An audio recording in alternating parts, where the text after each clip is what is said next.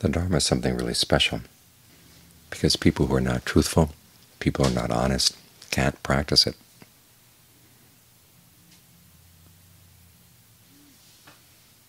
You have to bring truthfulness to the listening to the Dharma, to the practice of the Dharma, if you want to gain any attainment in the Dharma. Otherwise things get directed off course.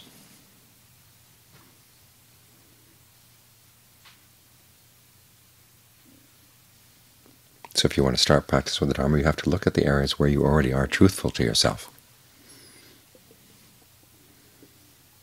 and spread out from there.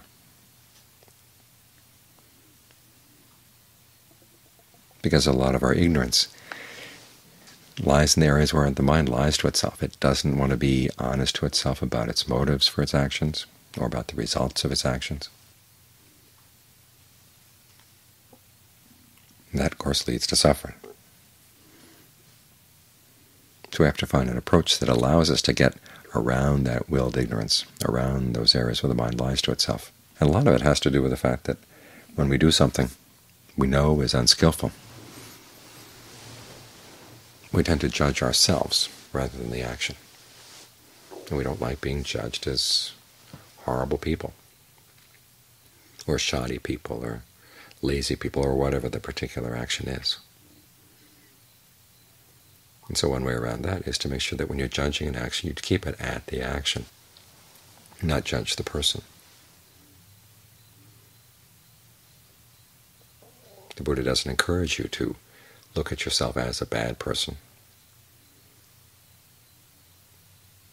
He tries to encourage you, say, you have what it takes to practice, but you've got these bad habits, you've got these bad actions. He doesn't have you deny that they're bad, and to recognize that they're bad is not a form of aversion.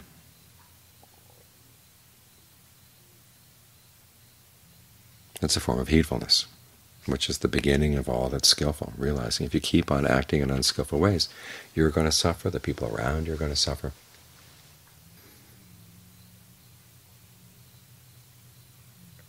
But keep it on that level, just the action. And when you see it as simply actions, then there's nothing inherently wrong with you. Because nothing can't be changed. Actions can be changed, choices can be changed.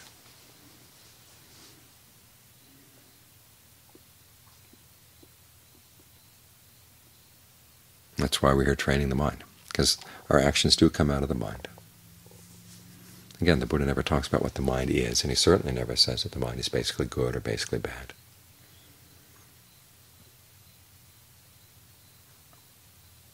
Ajaan Chah, one of his finer turns of phrase, says, what is the mind? The mind isn't is anything.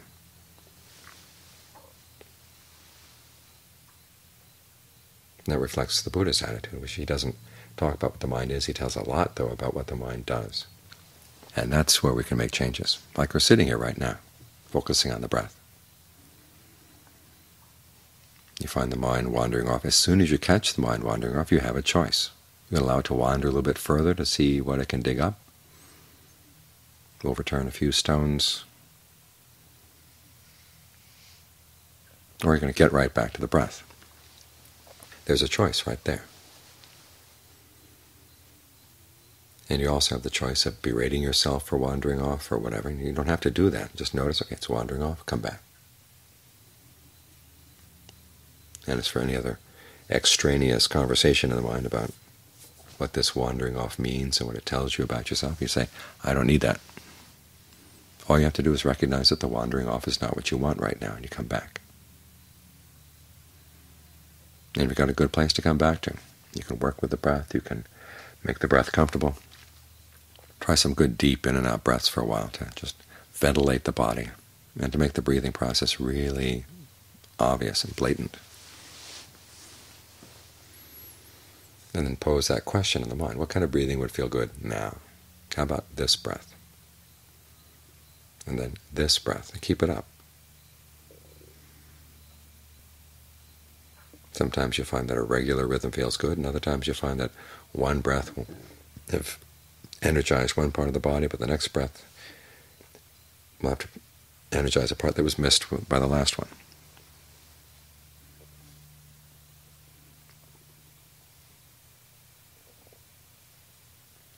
Some reason, I don't know why, but every time I think about this way of approaching the breath, it reminds me of one time when I was at Wat Asokaram, my first year as a monk, and there were two or three dogs that came out around to my hut after each meal.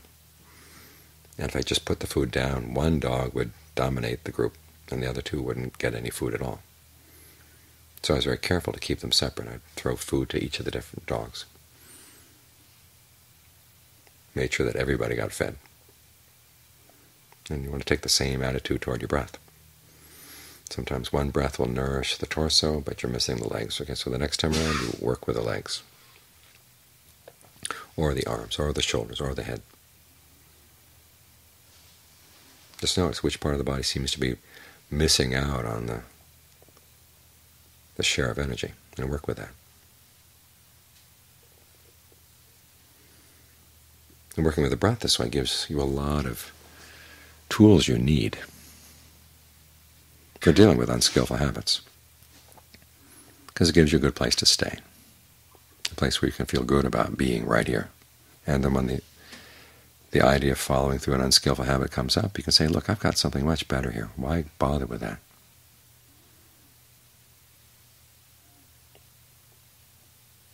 Because often an unskillful habit comes from a sense of irritation or dis-ease or just discomfort here in the present moment. And we tend to react to that discomfort in an old way. It may not be the best way, but it's something we're familiar with. And part of the mind seems to think, well, it's a natural connection. But working with the breath can help break that connection.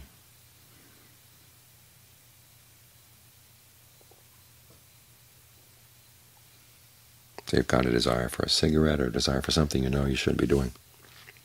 Ask yourself physically, where do you feel that desire? What How does it manifest in the body? You may notice a pattern of tension in the back of your hands, in your stomach, or whatever. And if you've been working with the breath, you know I can deal with that pattern of tension in a different way. Breathe with it.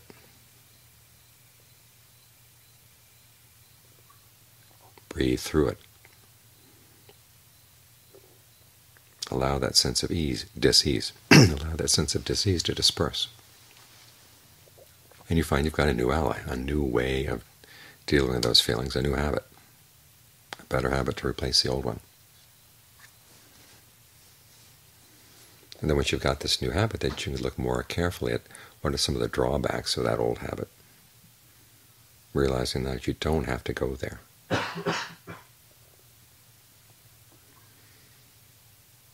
the next time it comes up, you can just breathe right through it again. And if part of the mind starts arguing and says, well, I really prefer that other old way of doing things, just you can sit down and talk to it. Like that great passage in Ajaan Lee's autobiography where he's planning to disrobe.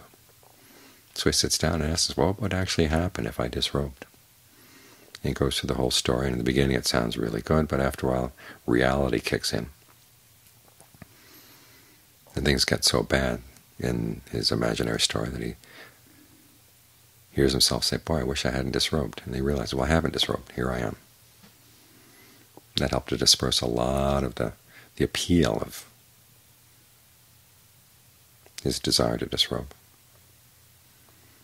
This is what you want to do, because a lot of your habits, even though part of you doesn't like them, there's another part that finds them appealing. And you've got to really look at that carefully. And point out to yourself, this doesn't this doesn't work. It's not nearly as appealing as you might have thought.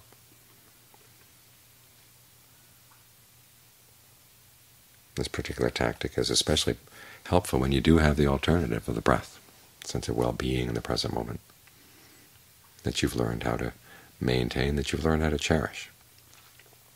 Sometimes people get critical of being stuck, say, on concentration or stuck on the comfort of the meditation. But it's a useful getting it's a useful place to be stuck. It's a useful place to be attached.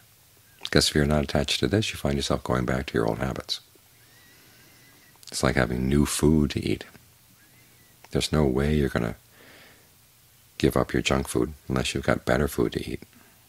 So here it is, better food.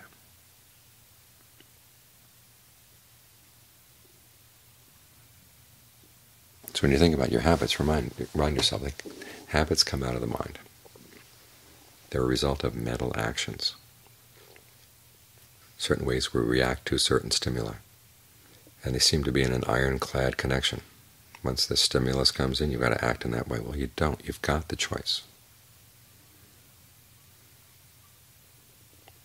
When you provide yourself with alternatives, then you can start arguing back with the parts of the mind that come up with all kinds of arguments, saying, well, if you're not going to give in today, but you're going to give in tomorrow, so you might as well give in now.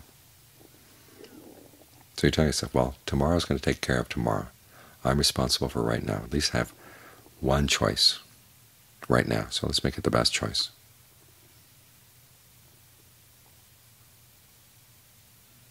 And the next time the question comes up, okay, here's another chance to make a good choice. And you don't make yourself any promises for tomorrow, but you do promise yourself right now, right now, right now. And as long as you're with right now, you're taking care of all of time. You don't have to worry about tomorrow. Just worry about right now. This breath. The sense of ease you can get from this breath. Your ability to maximize that ease with this breath.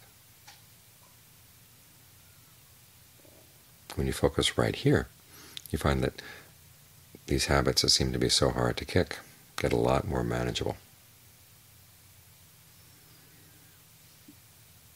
Especially we can look at them not as an indication of what kind of person you are, but simply here's an action that gets bad results, and you have the choice that you don't have to follow that action. You don't have to suffer those bad results.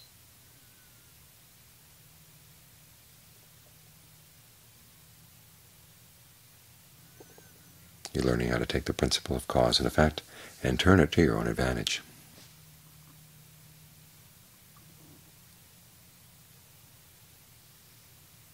The more truthful you are about exactly why a particular habit appeals to you and what leads you to do unskillful things, the more you see this other truth that you do have the choice not to do those things. This is where being truthful helps to reveal truths that you otherwise wouldn't have known.